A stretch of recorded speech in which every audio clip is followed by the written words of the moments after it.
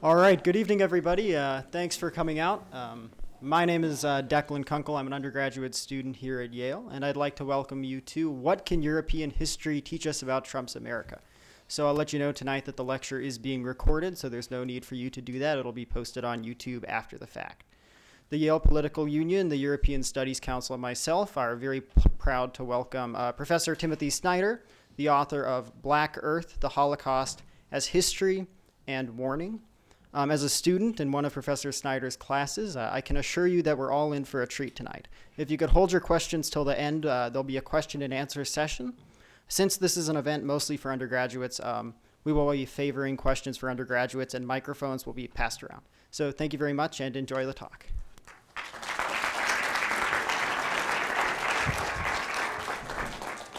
Could you, Declan, could you mute that one?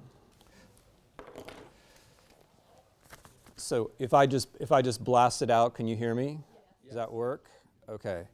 Um, so what, what I want to do in, in the next hour or so is, is share with you an idea about history and politics. It's really just one idea. Um, the idea is that history has to be political.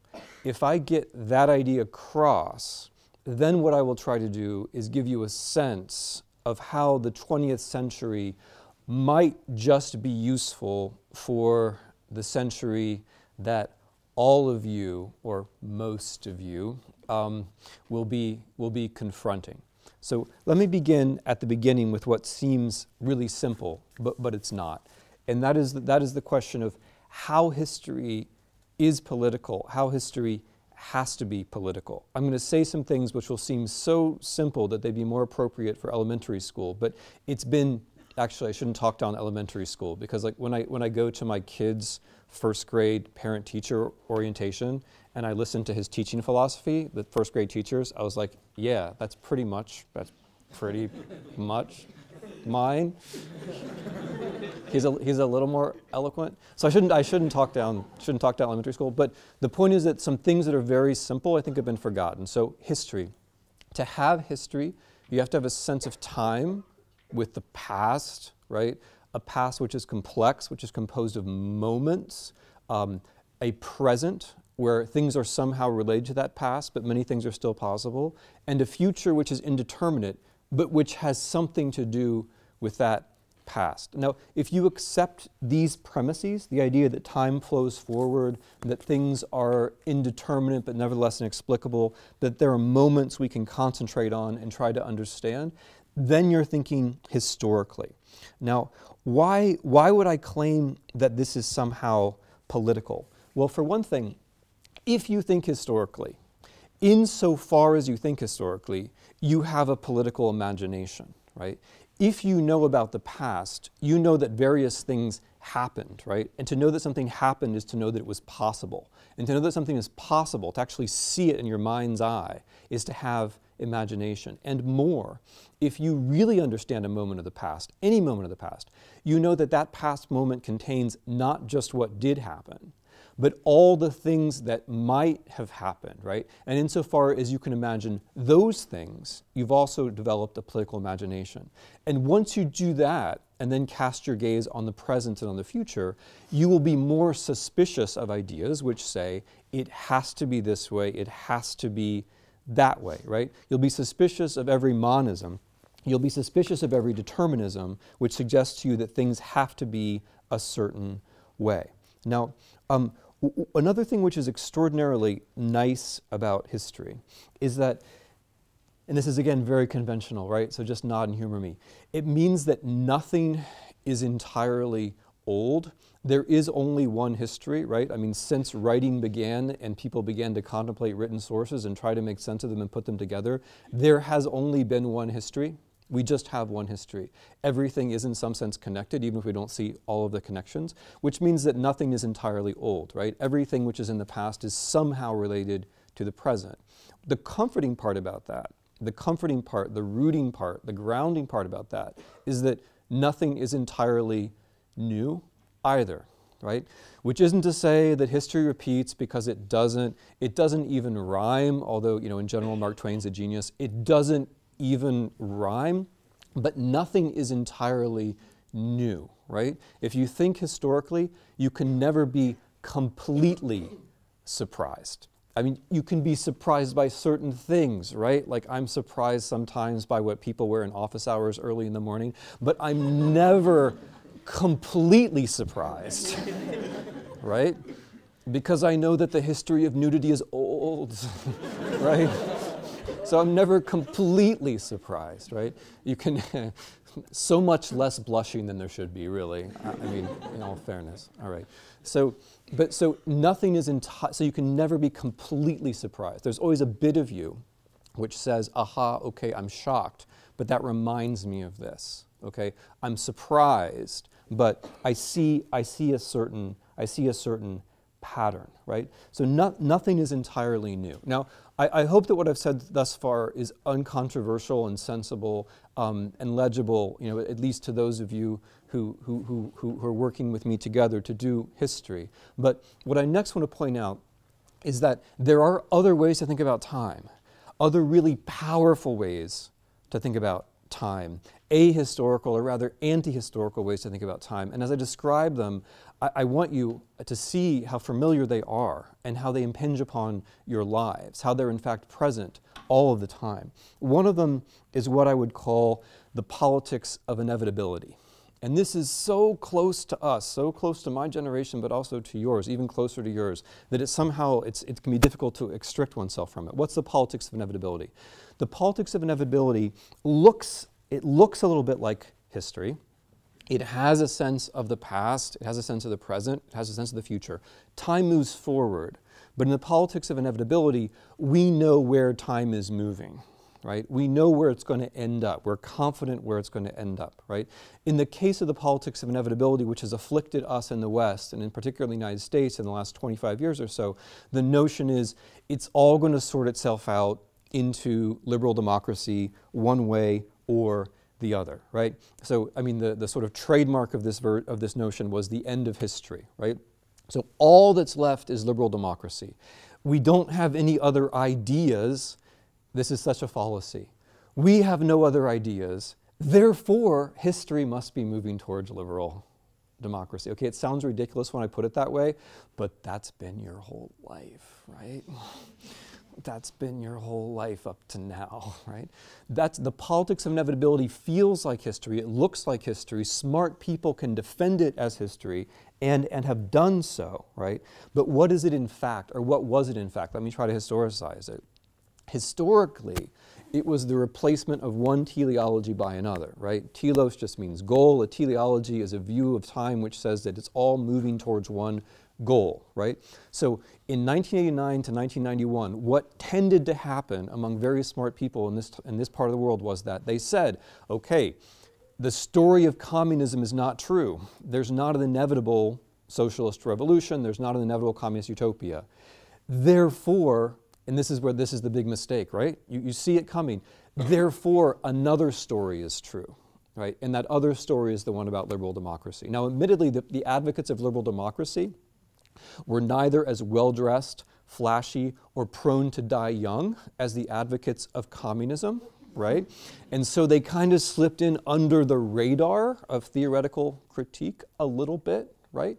Um, but nevertheless, this is also a teleology. The mistake is to say one teleology is wrong, therefore another teleology is correct, right? That's, that's the fundamental mistake. Now, the, and, and so what, what follows, why is this not historical thinking, right? It's not historical thinking because in this way of seeing the world, since you know what's going to happen in the future, roughly, I mean, you don't know exactly when or how, but you know that roughly we're all, you know, the arc of history is, there is no arc of history, right? There's no arc of history. No arc.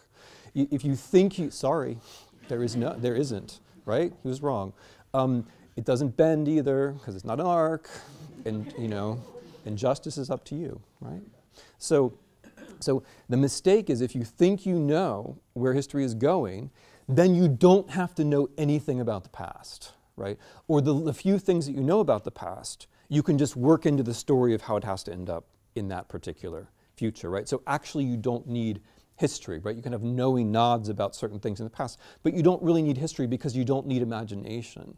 You don't need possibility because you already have a certain conviction about where things are going. Now, what are the what are the reactions to this or what are the what are the syndromes associated with this? And i'm going to list some things which i imagine you have experienced in your own lives right? And i will try to avoid like embarrassing pop culture references which date me while i do this but i can't guarantee you that i will succeed. Paranoia right paranoia because if there's only one way that things can go in the future, then there's a certain tendency to say, aha, there's a master plan, there's a conspiracy, right? We have to get out from under it. Okay, first embarrassing pop cultural reference. This is the matrix view of history, right? The ma- you, go to, you, you, know, you go to work, there's a cubicle, you're dressed up more or less like I'm dressed up, right? But then it turns out there's a secret reality underneath it. That's a reaction to this way of seeing the world. Like if there's only one story, you think, oh wait, there should be a counter story, right? And it should ideally it should involve Carrie-Anne Moss, leather, special effects, really slow bullets. Okay, I promise that will be the last embarrassing pop culture. No, I don't actually promise that. Second, um, second reaction, political boredom. Okay, the Germans have a good word for this because they have a good word for everything because they have an amazing language. Alternativlosigkeit right? The absence of alternatives. This is a name for this. This is a name for the politics of inevitability, a name for a syndrome, the syndrome of boredom. If you accept that there are no alternatives, right? The politics of no alter- if you accept that there are no alternatives, politics becomes unbelievably boring. Because what happens is in the two-party system, one party becomes the party of the status quo that has to be. And then the other party becomes the party of um, fancy, crazy, rebellious system destroying ideas, right? Which aren't particularly articulate and they don't have to be, right? So that's the story of the United States, right? It's also the story to a great deal of, continent, of continent politics in continental Europe, although there it's often two centrist parties are the ones who say no alternative to the status quo, and then you have a populist right-wing party which says system destroying, you know, free thinking, all kinds of stuff, right? So politics becomes very boring if you know where things are, are going. A, a, a, word that people have used a lot for this, right, in English is neoliberalism. Okay, neoliberalism, it's bad, yeah, okay. The problem with using neoliberalism is that it embraces everything, right? It's a, it's a word of critique which actually fails completely to critique because it means everything, right? When people say neoliberalism, they basically mean they mean the lack of alternatives, but they mean they don't like the lack of alternatives, but they're not usually providing an alternative. Usually the word neoliberalism is meant as a kind of gesture of helplessness, right? As soon as you say neoliberalism, all the air goes out of the room because you're just kind of admitting there's no alternative to it, right? That's just it. It embraces, it embraces everything, which leads to other reactions. Like, tell me, you know, just nod, please humor me, nod discursiveness, right? Now you're already nodding, I haven't even said anything. Um, she also sits in the front row in class, right? She's totally reliable, laughs at all the jokes. Um, um, uh, I don't know her name, so there are no grading issues here, right? Um, so, um, okay, so um, discursiveness. If you can't talk about the what, right? If you already know what the what is, the what can't change, then you only, only talk about the how, right? You describe, you skate along the surface, you skim, you skim along, you know, you describe these superficial things. Um, and, and the extreme of discursiveness comes that thing called irony, right? Irony, knowing irony, right? The wink and the nod, the critique which is not a critique, because again, it doesn't actually provide an alternative. Irony refers to that broad set of things which we all think we know and we nod our heads about it, but what are those things exactly, right? What happens in irony is just the reinforcement of the status quo. Disruption, a word which I hope never ever to hear again, but will because Steve Bannon is, is the, uses that word a lot. Disruption, right? What's the idea of disruption? Disruption means we're going to come along and disrupt, right? What's the premise of disrupting? The premise is there's a system which will automatically rebound. No matter how obnoxious we are, how young we are, how anti systemic we are, we can disrupt and that will be cool but the assumption of this is that there's a system which will bounce back, right? But what if there isn't? What if there isn't a system which will bounce back? What if the notion of disruption, disruption is entirely empty, right? Then, then where are we? Well, basically, we are where we are now, where we have a disruptor in chief, right, in, in, in the White House. Okay. Who is going to, who brings things back after disruption? Who is going to bring things back after this particular disruption, right? I'm looking at you and I'm nodding because it's going to be you or nobody. The big problem, nervous laughter, the big problem the big problem with, with the politics of inevitability is that it's very vulnerable to shocks.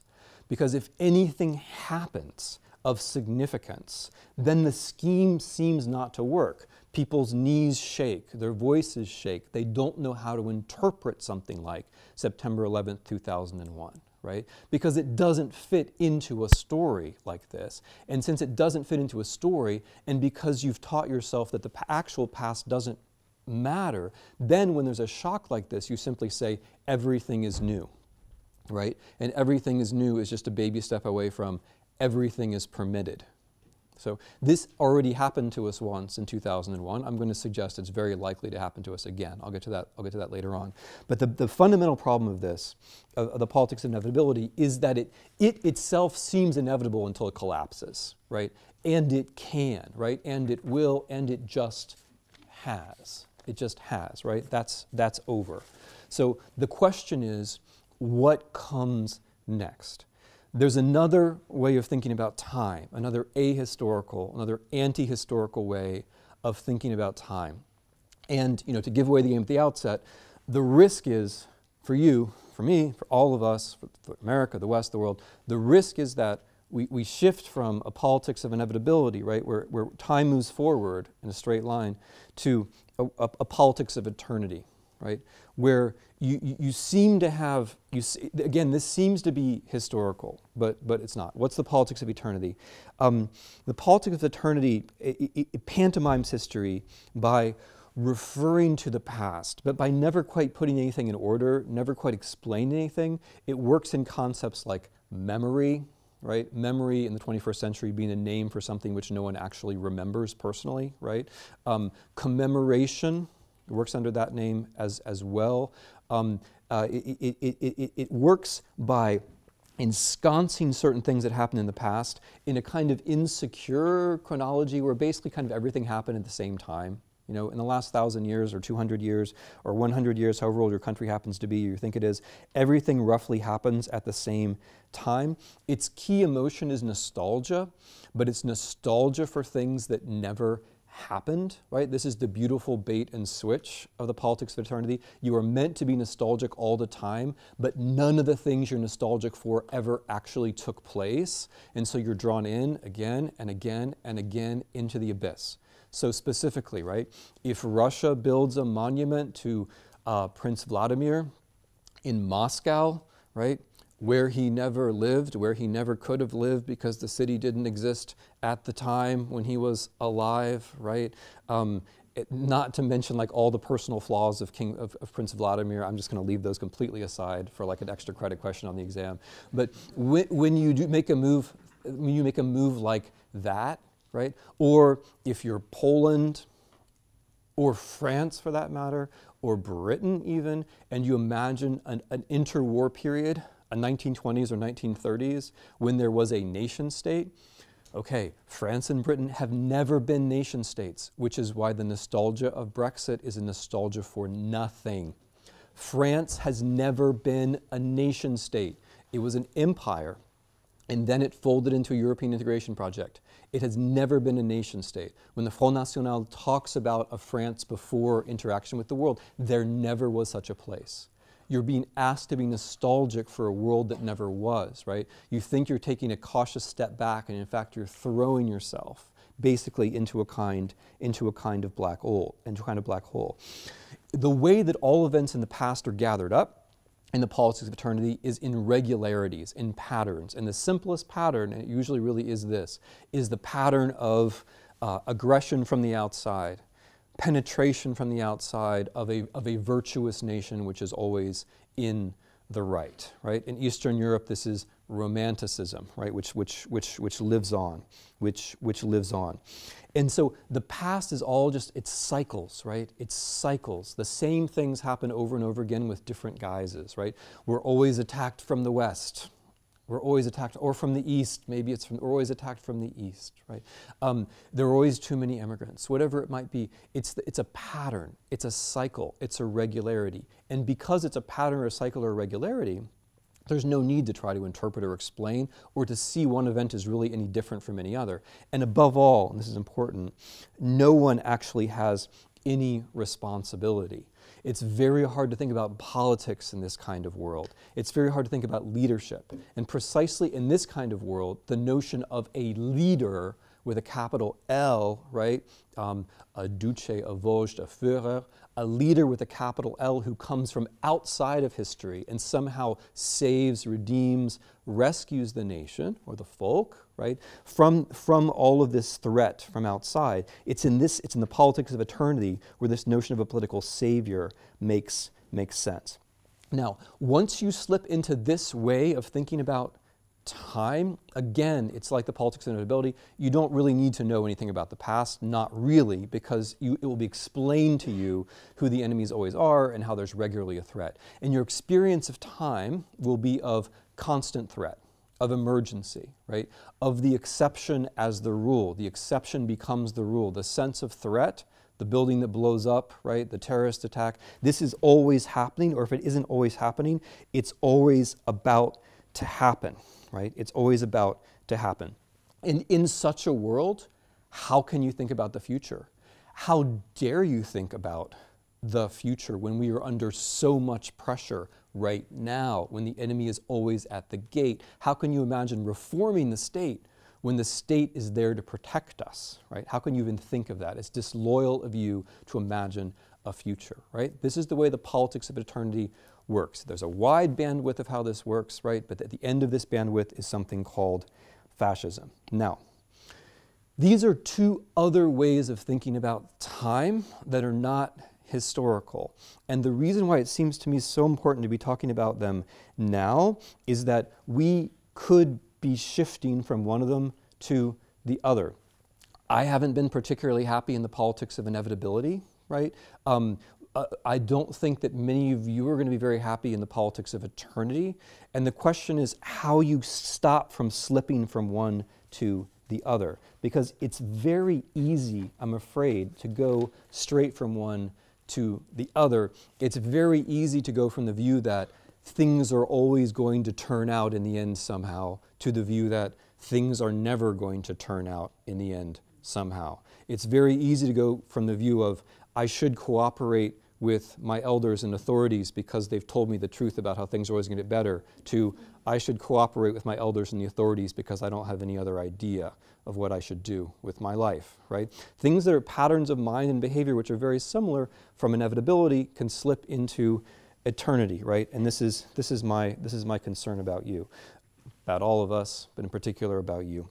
So, um, any historical thought that you have any effort that you make to think historically, any engagement with history is itself um, a sort of resistance to this. Insofar as you're thinking historically, you are inoculating yourself against both of these timescapes. Whether you realize it or not, you're, you're, you're creating a little moment, you're, you're, you're creating time you're producing, you're producing time, you're producing imagination, you're producing relativism, you're producing thought. Okay, so that's the introduction.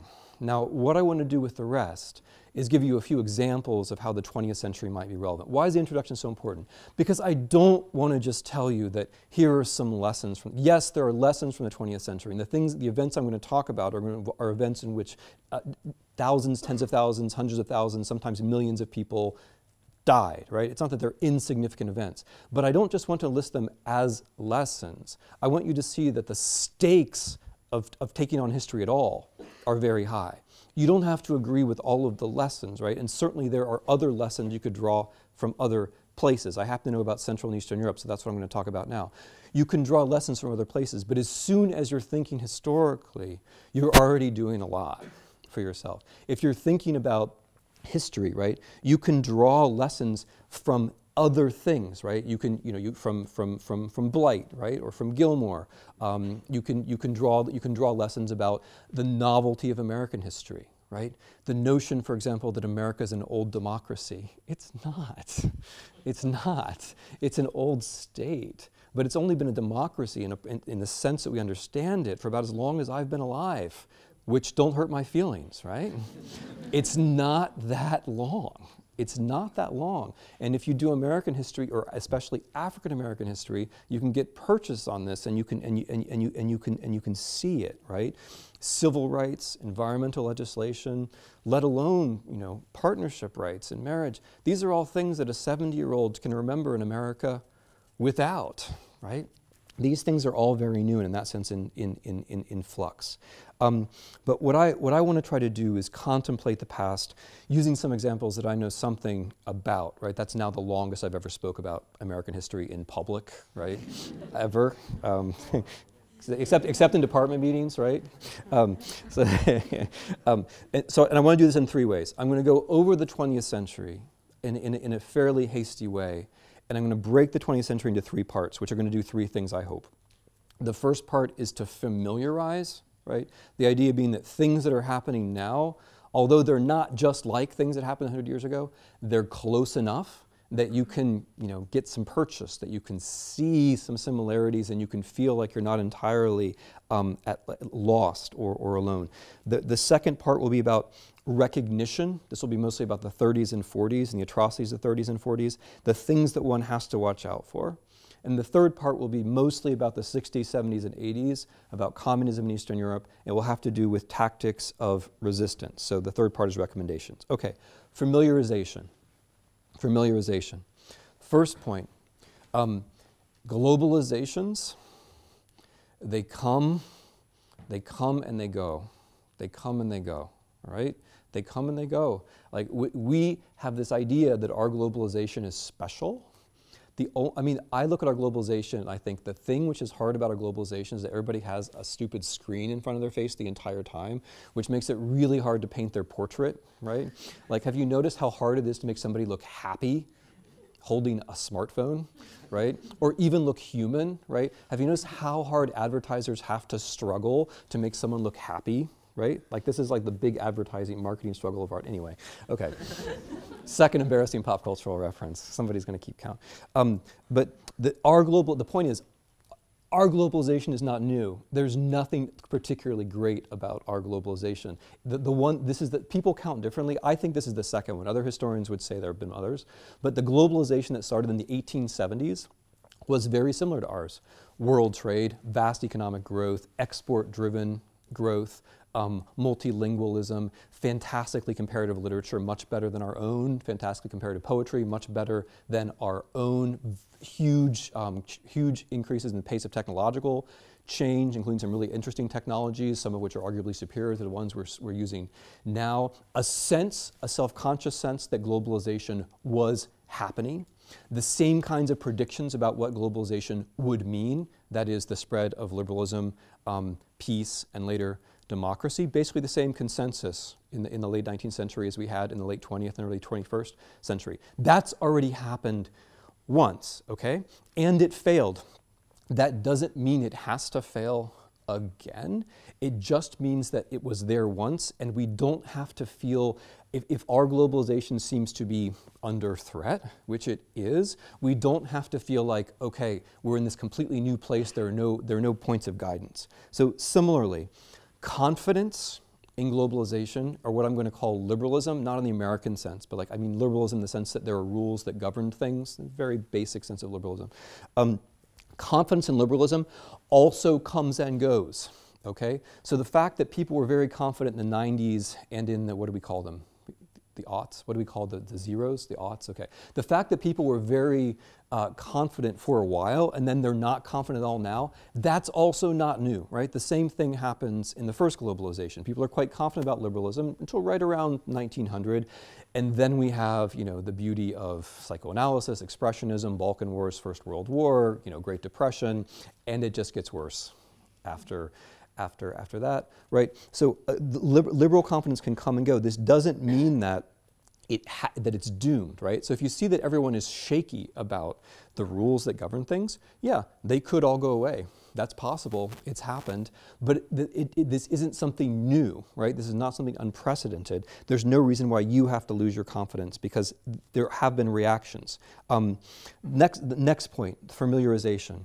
Um, to, to, to, to do away with ideas of rules around the world, you always or pretty much always appeal to eternity. So this, this thing that I'm talking about, like my, my obsession with losing the sense of time moving forward and that being replaced suddenly with the sense that time is flat, the one of the reasons why I'm so preoccupied with that is that that's how it happened the last time right? There's a light version of this which begins in Vienna 1900 where you have the men who are not really rich pretending to be rich and appealing to the working class, providing alternatives to globalization which involve protectionism, right? Um, and an odd mix of the old and the new, which of the up and the down, right, as it was famously put by Robert Musil and then by Carl Schorske, um, which works politically. That's the soft version. The harder versions are fascism, with its obsession with Rome, National Socialism, with its obsession with a Reich, a thousand year Reich, and above all with its notion that there is no history, only biological regularities, right? Only, only races, inferior, superior, friendly, friendly, and, and, and, and enemy.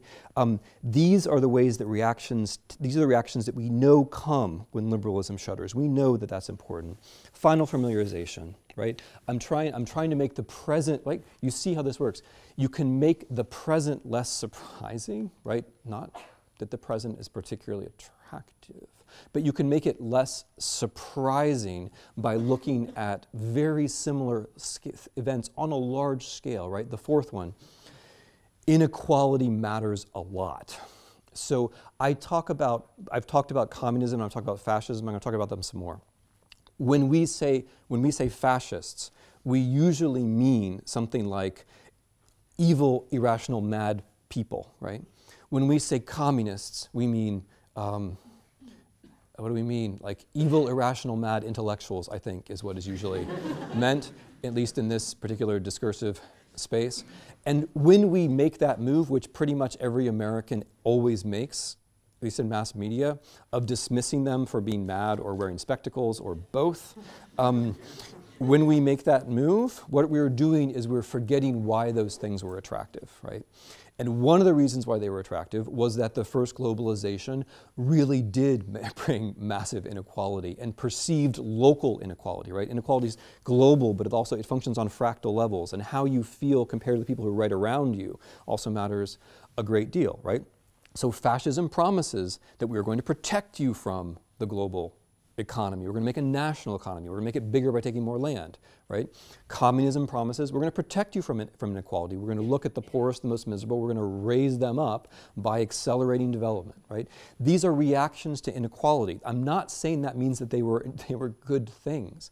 I'm just saying that inequality mattered a huge amount in the first globalization, and it matters an awful lot in ours as well. Um, it, it, cannot be discarded the way that we'd like to discard it. Okay, that's, that's, that's, um, that's familiarization. Recognition. Recognition is about what are some of the things that can go wrong. And you might be saying, well, some things have already gone wrong. Yeah, some things have already gone wrong, and some things went wrong well before the obvious things that went wrong. But you know, as, as, as my friend and colleague Eli, Eli Stern was saying to me, like on the street the other day, um, you know, the lesson of East European history is that you can't say it's not going to get worse.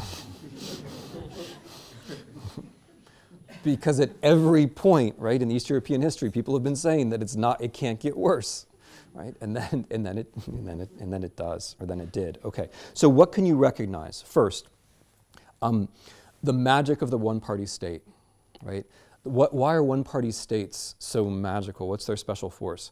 Because one party state is a way of moving from a normal political system with a constitution and elections and so on to one that's less normal, and it can be done gradually, right? So the Nazi takeover of power doesn't just happen overnight with elections, although elections matter. It happens gradually as one party crowds out other parties, as other parties are made illegal, as people get used to a simulacrum of the previous institutions with, in fact, only one party that's allowed to function. Second thing to look out for, to recognize, the demonopolization of violence. Okay, that is fancy. So Max Weber had this idea that the state will always aspire to a monopoly on legitimate violence, right? So the policeman should be always be working for the state, right? The army should be part of the state. Something to watch out for is when the state council supports, endorse, funds, trains groups that are armed are violent that are not really part of the state that are that are not they may wear uniforms right they may march in interesting formations right they may have ranks and salutes but they're not part of the state but they bear arms right i'm talking about the SA and, and, and the SS, in case you don't, in case you haven't followed me. Those are, those are, those are demonopolizers of violence. Those are entities which were not part of the normal state, but which the state, which the state supports. And when those things carry on next to the state, inside the state, start to penetrate the army, start to penetrate the police, they then change the state. This is the second thing to, be, to watch out for. The third thing to watch out for, and if I like if I had to choose one of these things for like the bumper sticker, I don't drive very much, so not a bumper sticker. Um, for like the sign that you tape to my back, okay. If I had to choose one thing for that, it would be Reichstag fire. Okay, it would be the politics of emergency, the exception becoming the rule. You ask, you ask, who set the Reichstag? You know what I'm talking the Reichstag fire, right? A month after Hitler comes to power, the, somebody sets the German parliament on fire. This leads to many important things the suspension of other political parties, putting lots of people in concentration camps, and the declaration of a state of emergency, which then becomes normal because it's never, it's, it's never lifted, right? That's, that's the Reichstag fire, right? Um, the, the, what the Reichstag fire is important here for us as a landmark is that that's the kind of thing which does away with the way you're thinking about time and politics and freedom now, right? A, a Reichstag fire is the kind of thing which creates a sense of permanent emergency because how, you know, how could they have done this to us? It, it, it creates a new kind of legitimacy for authorities. Maybe they came to power by elections, but it's their reaction to this grand emergency which gives them a new kind of legitimacy, right? Um, and, uh, and, and, and, and above all, above all, okay, who set the Reichstag fire? It doesn't matter who set the Reichstag fire, right? There is actually a debate about this still going on, but it doesn't matter who set the Reichstag fire, right? When the Reichstag fire comes again, we may not know who set it and it's not going to matter too much, right? What's going to matter is how people react to that immediate sense of, oh, nothing like this has ever happened before, right? Which is what everyone always says, even though this happens with numbing regularity. right? When it happens again, people are going to say this has never happened before, hence state of exception, hence emergency, right? And the question is, how do you react to that? If you react to it historically, you think, aha, 1933. There are plenty of other examples, but you think 1933.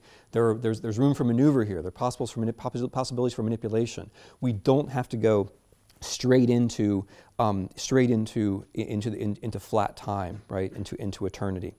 Um, uh, relatedly, watch out for the words terrorism and exceptional, and, and especially extremism. I mean, I'm aware that there is such a thing as terrorism, right? But I'm also aware that every authoritarian regime in the history of modern politics talks about terrorism all the time.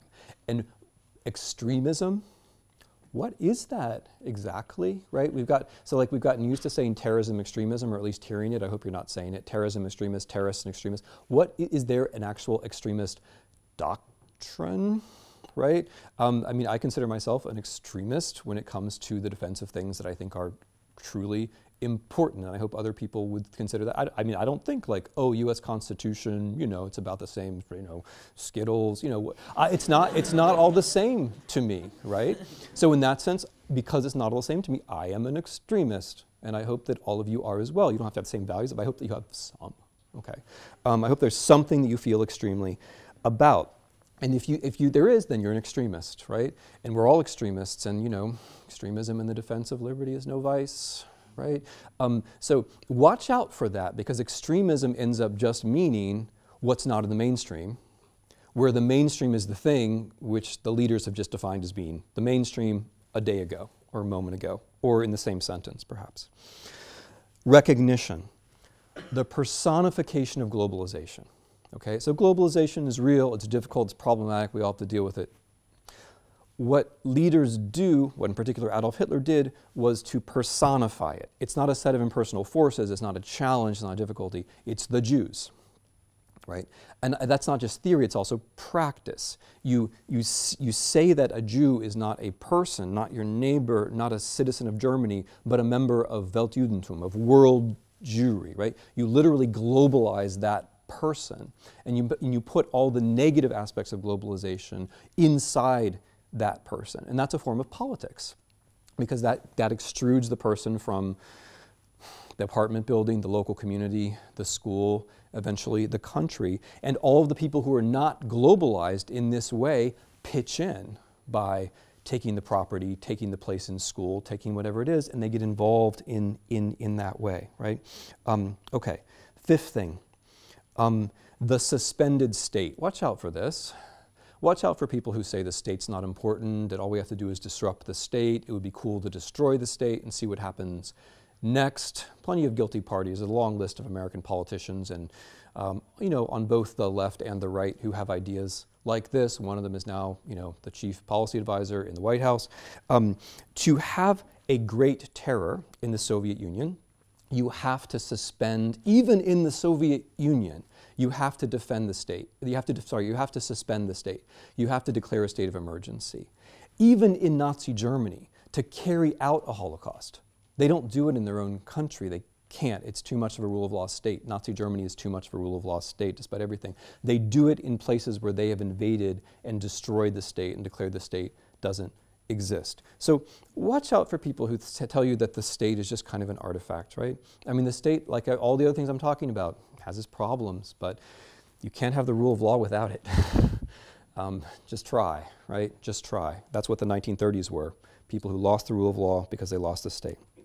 Okay, so um, this brings me to the, the last set of things I wanted, I wanted to talk to you about, which is recommendations. Now, if I were a West, this is the move which I make when I become a West Europeanist. If I were a West Europeanist, I would say there were two big lessons of the Second World War, two big lessons of the 20th century.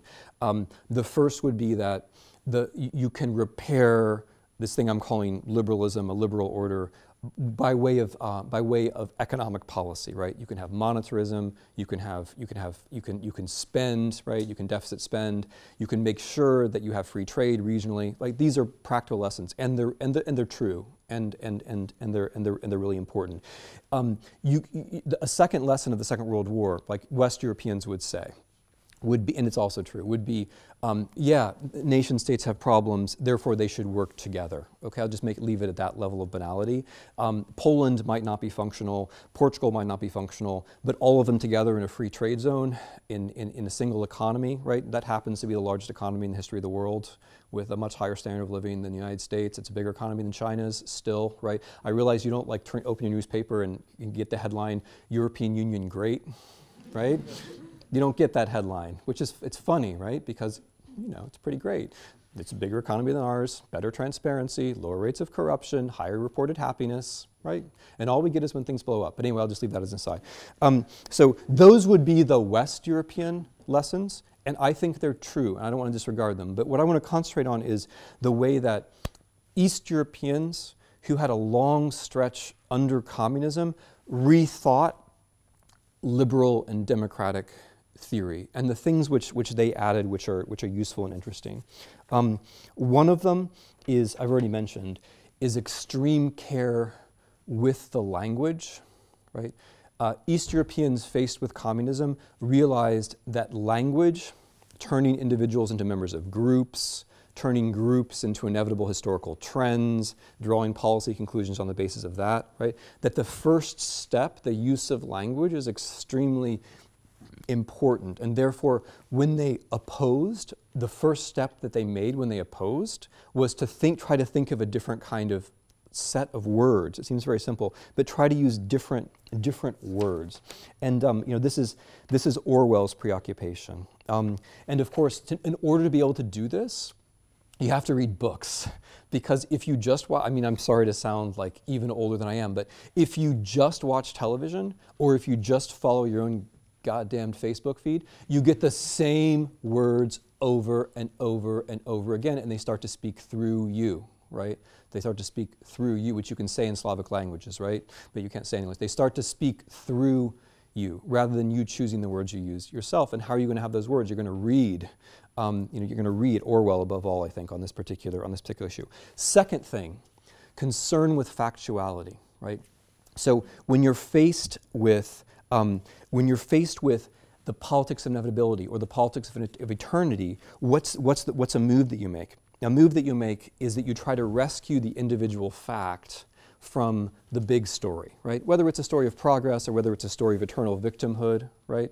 You try to rescue the individual fact, you try to make the individual facts your own. At this point, inevitably arises the question, what is truth, right? I'm going to go back to my original matrix reference. What, what, is, what is truth? Which I'm not, I'm not going to solve for you guys here today, but I, I'm going to say the following, I mean it earnestly if what is truth, that question, if that's, you know, that can be a pose and that can be an excuse for doing nothing, or it can be a search. and I earnestly recommend that it be the latter, that it be, that it be a search, as it was for the East European dissidents of the 1970s. Next, um, next, next recommendation would be watching out for conformism okay, this one is hard. I mean, I don't mean to hit home too hard here, so I won't, but I mean, you guys know you're guilty, right? So, I mean, yeah, right? No, you don't think because you dress differently and stuff? Okay, I'll give it to you. Um, uh, yeah, right? Wake up if you're awake. So, the conformism. You, watch out for conformism. And, and how do you know when you're being a conformist? When you don't feel awkward all the time because the people who stand out always feel awkward. Freedom feels awkward. And the, mo- the moments where freedom is actually at stake, by which I mean now for you guys, are the moments when people have to feel awkward. Now, what, what's conformism? Okay, it sounds bad. Everything I put an ism on is going to sound bad. I'm, I'm making the mistake. I, I, I, you know, what's conformism? Who's a conformist? Who would say I'm a conformist? Nobody. It's not an ideology. Okay, what's conformism? Self censorship is conformism you know, when you don't write down the things or say the things you might otherwise say. And self censorship is a, is, a, is a species of a larger problem, which is called anticipatory obedience. When you obey in advance, when you use your precious creativity um, and your hard fought social skills to think, so no, it's normal, right, to be creative and think about what should I do, but to be creative about what somebody else is going to want for you, from you, right? It's a subtle move, but it's profoundly important. It's normal to use your social skills to think, oh, what does the other person want? I should start with them, not with me. That's great, right? But it's, it, it's, it's a different thing, subtly, profoundly different, to say, okay, what does power want? I'm going to meet power halfway, I'm going to do it advance. When you harness your own creativity, like those are things which could be serving your own individual, let's say, freedom. When those things are harnessed for obedience in advance, you are doing the work of power for it. right? And that is about 90% of how authoritarianism works right there. So when I say conformism, it isn't just like you're all going to like march, you know, it's not like, a, it's, I don't mean like in a commercial where like you just march down. You, I mean conformism in that you use your individual gifts, right, of which you were, you know, fortunate to have so many, you use your individual gifts to think about how you can move yourself, your future towards what power wants. This is what usually happens. It ought not to happen. A uh, couple more civil society, right? Civil society.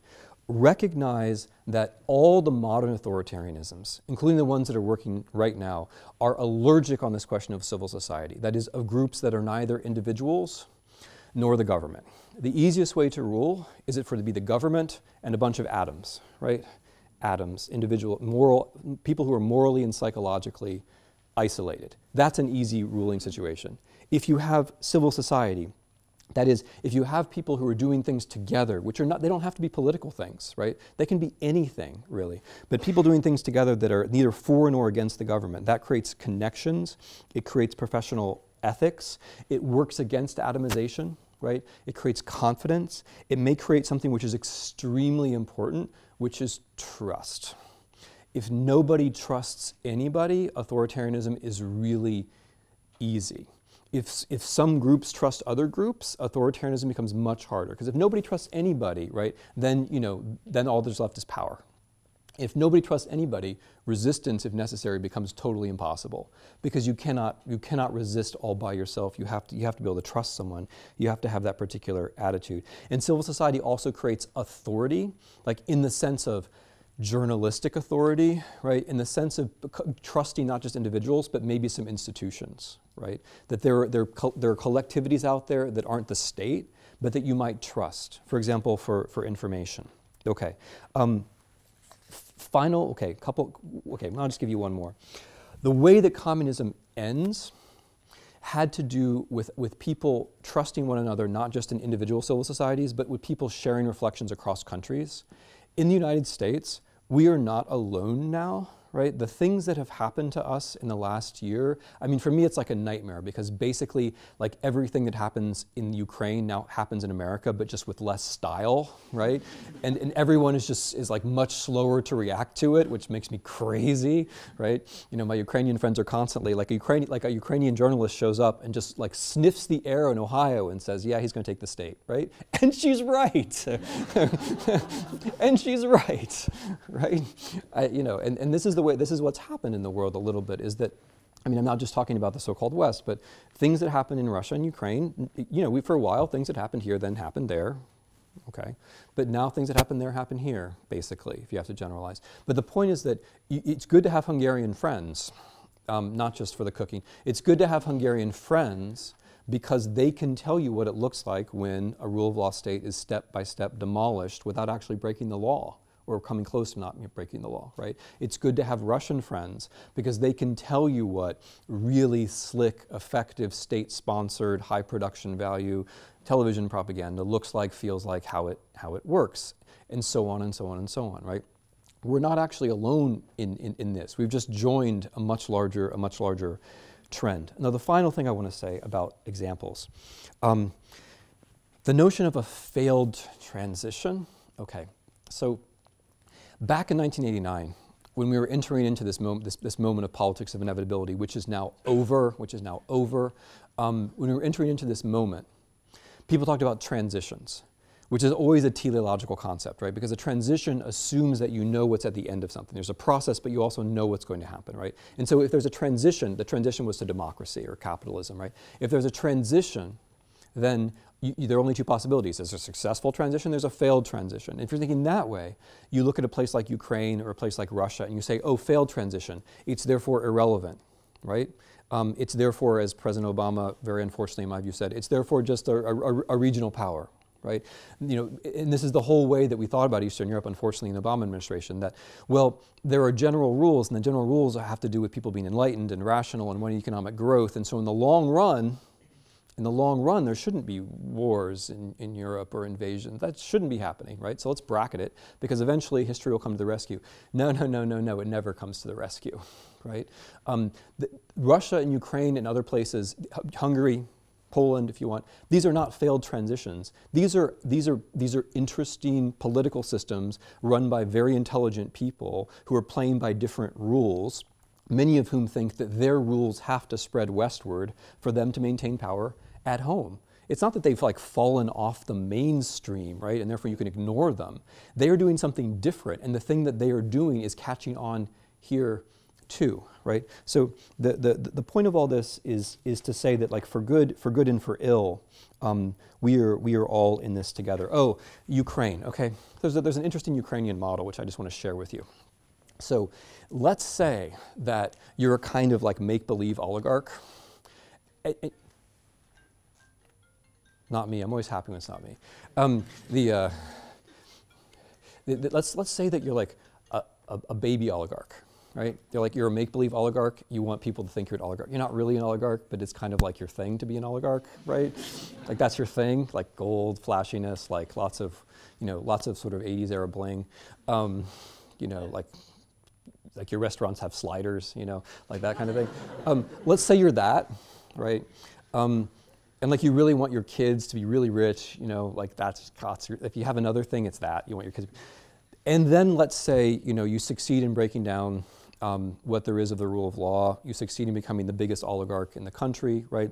It's not that you love Russia particularly, but Russia will help you out in this particular direction. It's not that even you don't like democracy, it's just that democracy can sometimes get in the way of this project of making your son unbelievably wealthy, right? That's Ukraine under Yanukovych, more or less. I mean, that, that more or less just happened. One doesn't have to, I'm trying to say, one doesn't have to reach all the way back to the 30s and 40s. And one doesn't have to have just the most dire examples to see things which might be happening. Oh, let's say your political advisor is Paul Manafort, right? I mean, it just goes on, these resemblances just go on and on and on. We've become very Ukrainian without knowing, you know, without knowing what that means. Uh, except, you know, all of you, of course, know what it means. Well, unfortunately, you only know what it means up to about 1912 at this point, right? so I need you in the second semester of the class. Okay, so fine. Okay, the end. The end. What does this? What does this mean for you? Okay, you, you know, you know what my basic point is. My basic point is that where you have been where you have spent your lives up to now and you can like you can riot later. But where you have no in fact i want you to riot later right? That's the point. Like i'm giving you permission to riot later riot later not while the camera's on but later.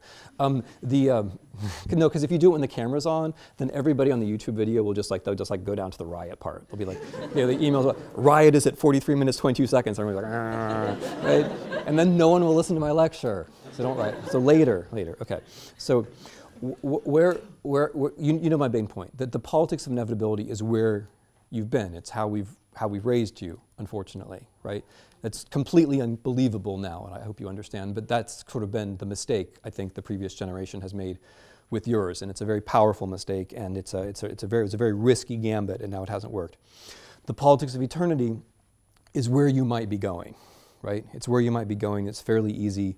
It's fairly easy to get there. And the question then becomes how we think about wh- what this is right now.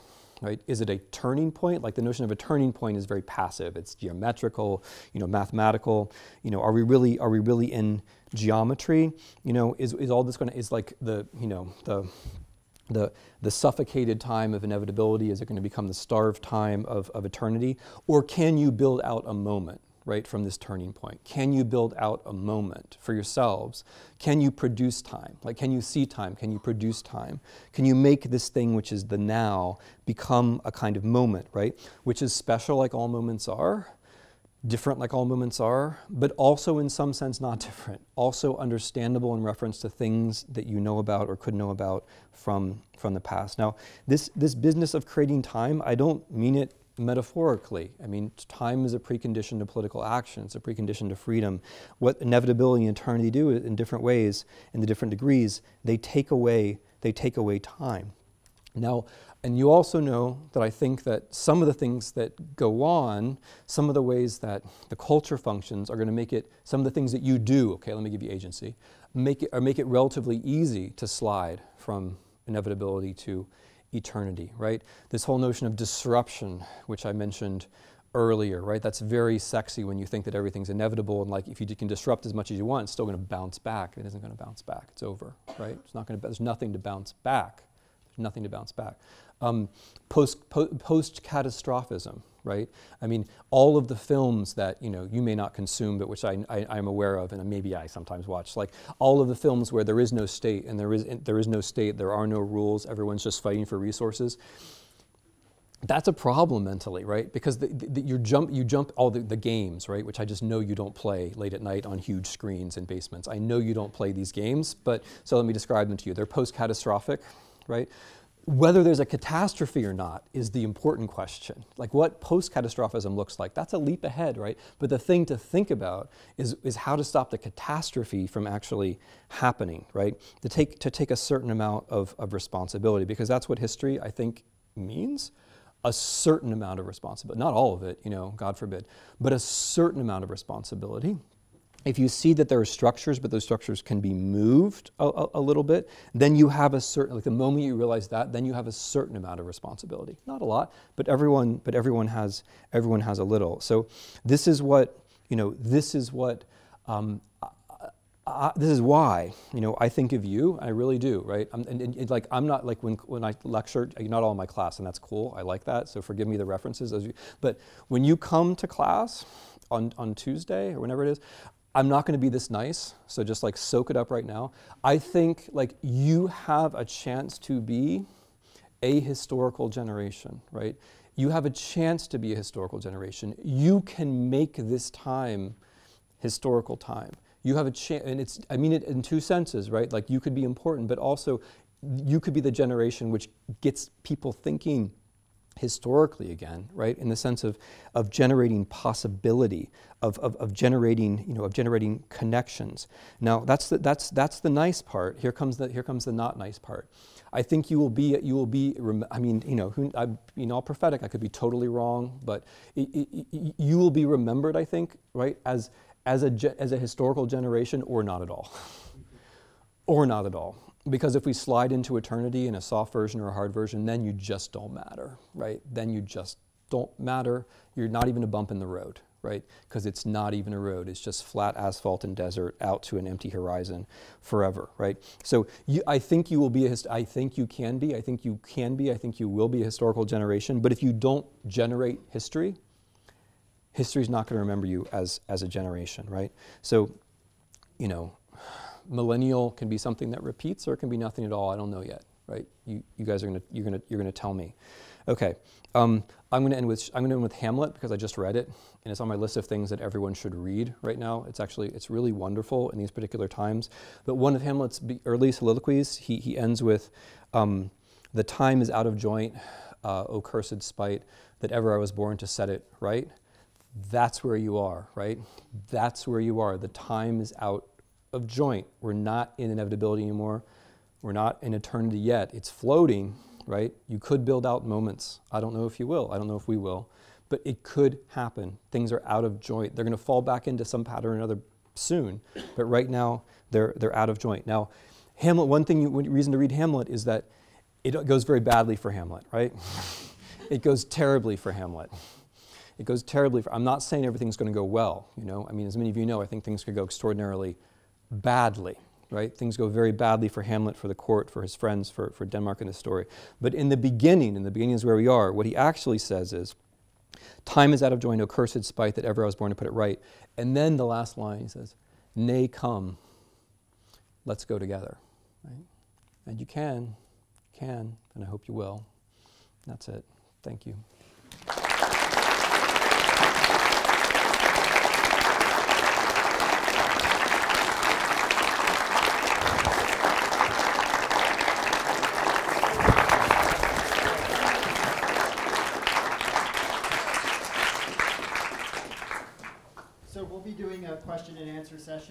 There's microphones on both sides of the room, so if you have a question, just raise your hand and we'll bring a microphone. Uh, hi, so I, I asked this question with, with all due respect. Um, I'd like to think from an aspiring historian to an actual historian. Um, all, all, all, all, historians are aspiring. at, at, at, moments like this, I mean, um, historians, uh, members of the Academy, uh, speak in metaphors, speak in timely metaphors. Um, I think you see it a lot with, um, we're in the centennial of the First World War right now. Um, the Academy looks and likes to make this kind of connection. Um, and I think uh, a metaphor that's um, very popular at this moment and one that you yourself have engaged in is the Hitler metaphor, both um, a little bit tonight, but also recently in Slate magazine. And I'm wondering um, to what extent that, how long does that remain appropriate? How long does it remain constructive? Because if we kind of play that metaphor out, we find ourselves somewhere between Hitler's election in 1933 and are awaiting our own Reichstag fire, which is in a sense saying that we're all kind of doomed. Um, or um, the alternative is that um, what, what, I feel is that um, there's a certain amount of optimism, a kind of uh, faith in kind of legal structures um, of the country um, that uh, at this point it, it, seems too early to, to tell if they'll, they will fail us and kind of result in this. And so I'm just wondering at a, at a kind of rhetorical level, um, where does that language kind of ultimately take us and what um, kind of what do you see its, its role kind of going forward as, as we kind of watch events unfold? Okay, so let me start with 1914, 2014, because that, that's an example, that's an example of, um, uh, that's a little tiny example of, of politics of eternity creeping in. People don't even notice. So there's a war in Ukraine in 2014 but it's the centennial of 1914.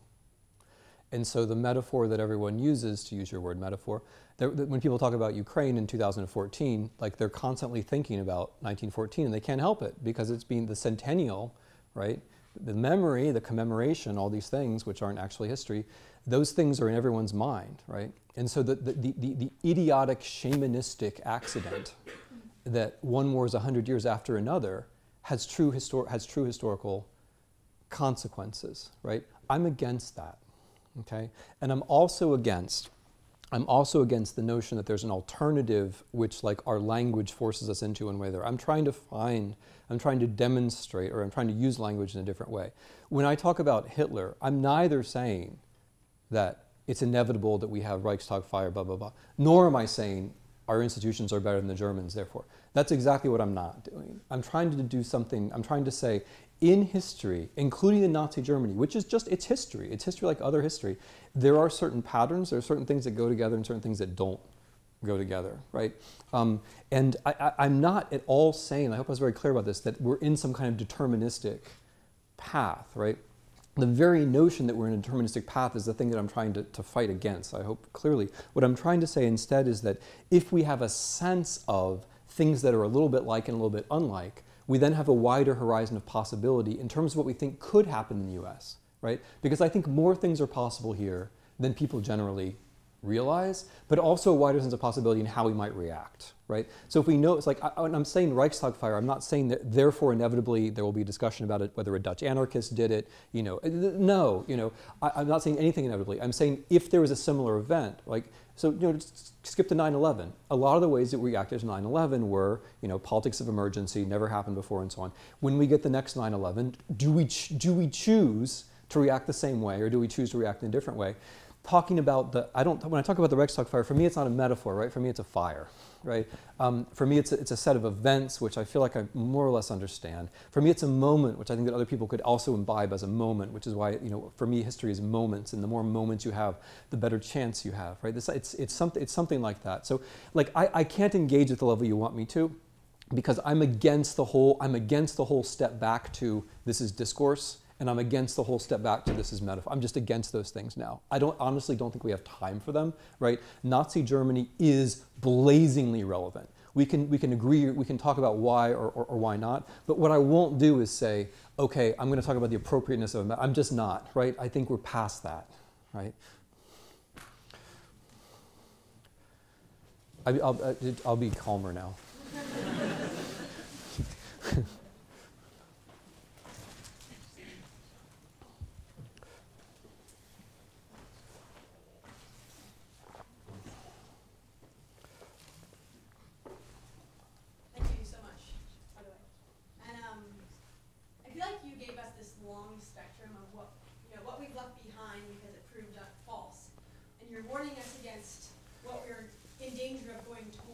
Mm-hmm. And you name the ends of the spectrum. And I'm trying to figure out how to com- convey this idea to others without reciting the four pages of notes in my laptop. And I'm wondering, what do you call the middle, and how do you convey it in a more concise, compelling manner? Because well, I'm not saying. let me backtrack. No, that's was tremendously compelling. That's cool. But if I've only got like two minutes or three minutes, and I'm not saying to tell me the two minute version or the three minute version, but what I guess I'm trying to say is how do you name what you've said? Because what you're saying is create the history between those that is neither of those. But I don't really know what I stand for, and I actually think it's very reflective of the election, right? We knew what we were against and often didn't know what we were for. So similar problem, but you can get into that later. That was a side point. But I want to know what are you calling the middle of the spectrum, and how do you convey that idea in a compelling manner? Because everybody wants to make history. That idea, like you said, that idea isn't new. But there's something between those dangerous ends of the spectrum that I'm trying to understand. I don't know how to talk about it.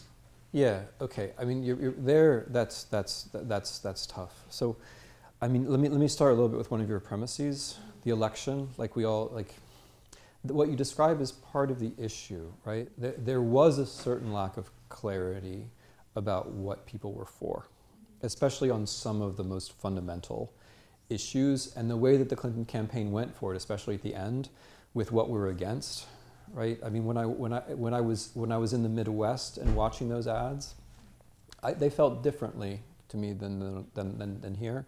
You know, the, the, you know, we can't trust him with the nuclear codes and that kind of thing.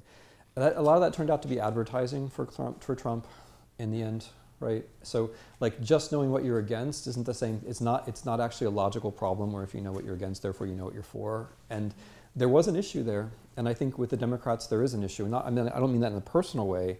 Um, but I mean, it's like it's this problem of boredom that arises from the politics of inevitability because with you know, both Clinton and Obama, and with all the appropriate qualifications and with all the differences, they're representing a party which is the we're the status quo, we're going to stop the mad people from in power party, right? That's the Democrats in the U.S. They're like the SPD, you know, they're like they're like the SPD, the 20s. They're the party which says like if you have to vote for us because otherwise it's going to be a disaster, basically. That always loses. It always loses. I mean, it might win once or twice, but it always loses in the end because people do not, understandably, do not think that that's a sensible way of understanding the future of, their lives, right? So th th this is a little bit of the problem. Now, what this thing is, okay, I'm going to take, I'll give you the easy answer, and then I'll then I'll negotiate with the hard part. The easy answer is, of course, there's no like two minute way of saying it. There isn't a two minute way of saying it, and part like part part part of the way that both inevitability and especially eternity work is chopping everything up into small bits, right? So like if you want to, like if, you know, you know, you don't have to admit you're doing this, but if you watch, it doesn't even matter if it's MSNBC or, or, or CNN or, or, or Fox, right? You could, if you watch any of them, they break up what's happening into such small bits that nothing ever happens, right?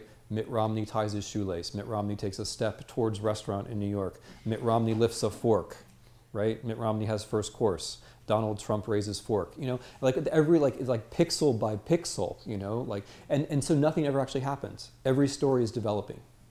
There's no developed story heading, right? Every story is always developing, and nothing ever actually happens in the end. And so my point is that like we have to, I think we do. I mean, I hate to sound like a cranky old historian, which I am, but we have to get away a little bit from the I got to be able to do it in I mean, I do things in 180 characters all the time, or however many characters it is, and not without assistance. But but but but um but but but like we have to get away a little bit from the we can solve it that way because we can't, right? Like the. The, the, the, you know, the, the, long, the long form journalism, right? The attention span. That's part of some of the things that I'm talking about, especially the factuality bits. Um, you can't get to fact to fact to factuality without like longer longer exposure, longer attention spans, a very self-conscious you know, approach to approach to print. I think. Um, okay, that's the easy way out. The, the, the, the, harder part is, you know, I, I can't, so, so there, at one level, like what I'm trying to say is that any engagement with history, whether it's like Native American history, which, you know, is, is I, I, find increasingly interesting, you know, or, or, or, or African American history, or especially any history that's not your own, right? Like that's, that's sort of important to all of this. But engagement with a, a history that's not your history, any engagement of that sort is political in the way that I'm describing because it builds out the possibility of politics, right? Politics requires time and somebody has to produce that time, right? And people who think historically are producers of time as opposed to consumers, which other people are, right? And I'm, again, I'm like that, it's, it's something like that. Exactly what ideas you're working for or like what kind of future you see, I, you know, I, I don't know and I'm not gonna give you that. I'm not, I'm not gonna stand here and give you that. What I am gonna say is that just mechanically, in order for there to be a future, like it's rich in possibility. There also has to be a past which is rich in possibility, right? And that, and to have that past, you have to ha- there has to be something like history. So you know, and look, I'm not trying to solve everything with this lecture either. You know, I'm trying. As a historian, like these are, I think these are things like we can do to recognize patterns and try to head them off. Like that's the that's the catastrophe part. You know, and to, to, to learn what one can do when very bad things happen, and then also to, to get, get a certain toolbox right? That's already going pretty far. I, I, can't, I can't go much farther than that.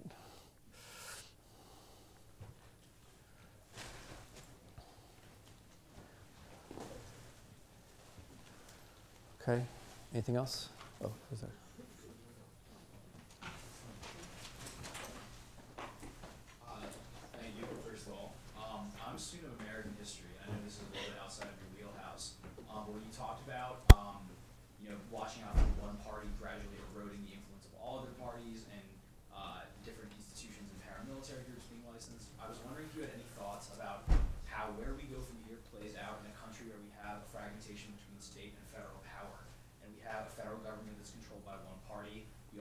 States where one party is in control on both sides of that spectrum, and that prevents both that, that presents both obstacles towards reform and it presents the temptation to uh, have this have you know if you live in a state where you believe in that it, you know to take blue states and make them almost utopias of what we might envision to be ideal. And I don't know if you had any thoughts about how, you know based on your historical knowledge how that might pan out, what to avoid, what to look for in this sort of uh, layer cake situation between federal and state authority. Mm-hmm. Okay, so yeah, I, I, I, I'll give you some very general because like if you've taken a class in U.S. history, you're already you know way ahead of me in terms of actual knowledge. But I mean, at a, at a uh, no, really, it's been a while, and a lot of stuff has happened in the meantime. Um, but like the the, the, the, the, federal system, I think is an excellent point. And when you know, and when pe- and when we talk about like the appropriateness of some of the analogies I'm making, it's a very important point because one of the things that happens in the 20s and 30s, and so the Germans in the 20s and 30s had a lot of things that we have, right? They had an educated population, they had export-led, you know, they had export-led growth. Um, they probably, you know, they had better manners and longer attention spans. You know, they had a lot of things we had, and and uh, it's nodding with the attention spans somehow here. And um, but they also had the rule of law, and they were they were they were obsessed with the rule of law, and they had a federal they had a federal system, right?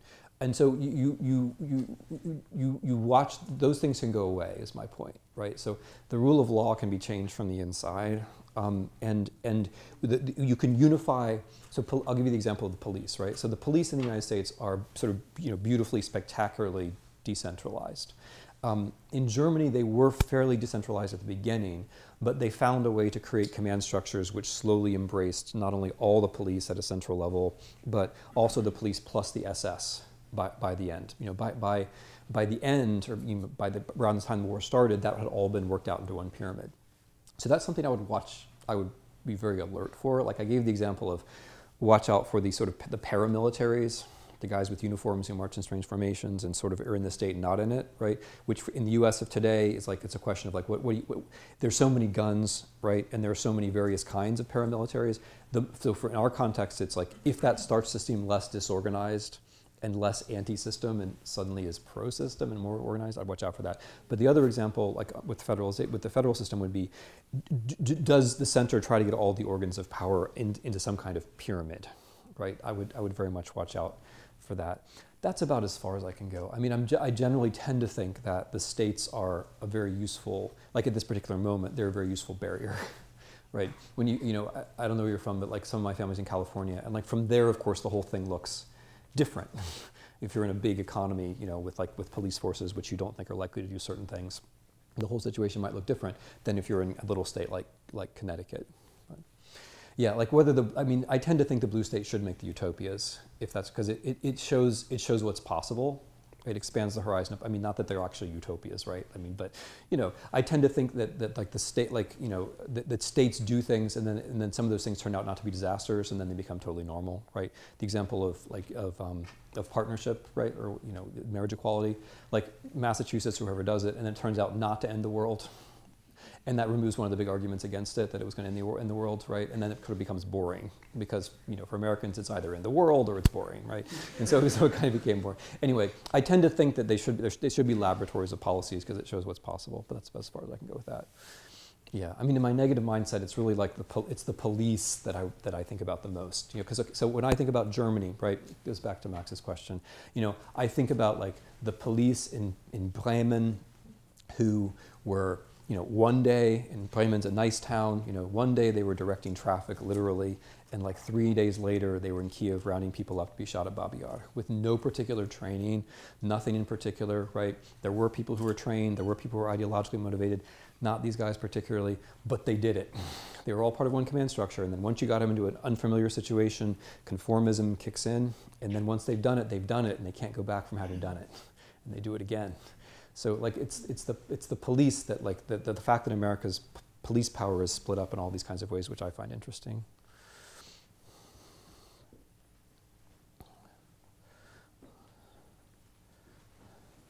Okay, I think I think the the, the, the, the Vox Populi is uh, is saying that we've used up our time. So maybe one more question. Yeah. You know Eastern and Central Europe well. What do these people tell you about the election of Trump? What do you think will be changing for them with the election of Trump in that part of Europe? Oh, well, so the first thing I would say is that it was people who work on Eastern Europe, whether they were East Europeans themselves or just students of East European politics, who tended to think that something like Trump was possible. Um, because, you know, because um, these these things partly because like if you're an East European, you have just a broader sense of what's possible. This is one of the things that Czesław Miłosz says with particular ruthlessness about the about the Americans or about the West. That like we, I think he uses the phrase childishly naive, but the, the, the idea that be, because things haven't happened to us, they're just not in our imaginary. Um, and, and therefore we don't know how to react to like the most fundamental things that can happen. Like for example that one day there are corpses on the street. You know that's just part of life that one day there are corpses on the street and the americans have no notion of what you know. So east europe east, being in eastern europe at least until very recently involved having this broader notion of what the possible was. But the other the other thing is of course that there are very few things in the trump phenomenon which are not present in some form or other in Russia, Ukraine, Hungary, or, or, or Poland, right? I mean, each of these, like, it's just sort of, it's one more case which has a family resemblance to, to the other cases. And those cases just happened to come, to come first. So people were less surprised, right? I mean, in, in Eastern Europe. In Western Europe, there was, there was much more like, he's a joke, right, right down to the last minute. He's a joke, it can't happen, you know. Um, how do they think about it? Depends who. It depends who. I mean, people who, uh, who, who, who, who, who believe that their, um, their future and or, or the, their way of living or even their life depends upon some kind of Atlantic cooperation, you know, whether it's NATO or whether it's a European Union, which has the Americans as a friendly outsider, those people are very concerned, of course, right? Very concerned that this is the first American president who um, who, who, who, who, who sees the EU and NATO as being sort of superficial, irrelevant, they should pay their own way. That's never happened before. Those people are very concerned. And, you know, even like, and, and, and the, the notion of a European army or European structures, like that conversation has moved forward very quickly in the last few, few weeks, few weeks and months. Um, some people, of course, are, are just are, are in utter despair because this goes back to the thing I was saying about like international models. It really does matter what happens more than we realize. You know, it, it, the, things become plausible, things are plausible or implausible depending on what happens in other countries, right? So this was, th that you would lose the US as a model, right? Which of course is, I mean, let's not, like, let's not, you know, for all the, like for all the liberals, for all, the US is gone as a model now, right? Just, I mean, it's gone. Just like Poland is gone for Ukraine, it's gone. It's gone, it's over. Um, it's a, I mean, it, it, it's, it's many things, it's important, you try to work with it and so on, but the notion that this is actually like uh, some kind of you know ideal democracy. That's you know that's gone. Um, it was I mean it was a lot of it was gone even before the election actually happened um, because of the style of the election and other things. But so that, that's you know that's that's quite significant. And people, it's harder for people to live without models, right? So in the next in the next few months, I think a lot of what's going to be interesting to see is how much the Europeans actually manage to come up with a European not so it's like anti-Americanism was always kind of a luxury, like because America was there. Like you can be as Amer anti-American as you want, you know, because America's there, right? It's a version of this like disruption thing. Like sure, you can be anti-American because they're here anyway, right? Now that America is not there, at least morally, and might not be there politically and militarily, might not, then anti-Americanism is suddenly irrelevant, right? It's gone basically because no one has time for it. It's irrelevant. What you now have to do is sort of non-Americanism right? You have to think of how you might manage these things without, without the Americans. So, you know, that's, that's, that's my basic sense. But I mean, like, there's a positive side to this as well, which I've been feeling for months, which is that my friendships in Eastern Europe are, you know, more resonant than they ever were. because these people are able to predict things that are going to happen in my country with, like, fantastic perspicacity. Okay, the, the, I think the, the, the, dominant mood is that we've, this has been going on long enough. Yeah, so thank you very much for coming. Thanks for talking. Thanks.